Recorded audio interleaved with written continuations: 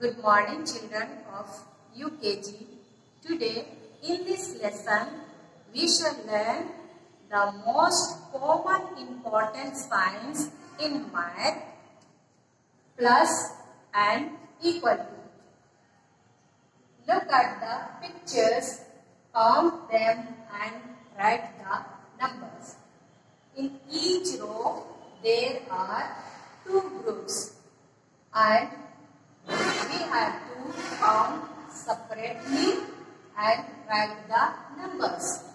Then we write the plus here. Plus means again both group together we have to count and we put is equal to and write the total number. Let us start. How many cats are here? One, two, three. So we write number three. One, two. So we will write here two. Now we put the sign here plus that means we have to count together. One, two, three, four, five. So now we will put the equal sign 5. 1, 2, 3, 4, 5.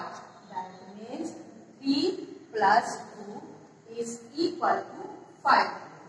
Next, 1, 2, 3. We have to write number 3. Again, next group, 1, 2, 3. We have to write number 3. Then, we put plus, that means together we have to count. 1, 2, 3, 4, 5, 6. So, equal to total number 6. We read 3 plus 3 is equal to 6. Next, how many mangoes are here? Let us count. 1, 2, 3, 4. We have to write the number 4.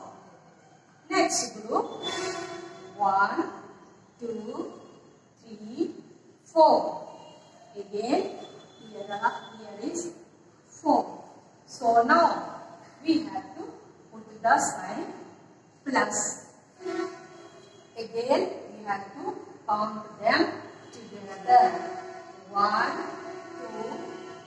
2, 3, 4, 5, 6, 7, 8 is equal to number 8. We read 4 plus 4 is equal to 8. Let us read once more. 3 plus 2 is equal to 5. 3 plus 3 is equal to 6. 4 plus 4 is equal to 8. Thank you.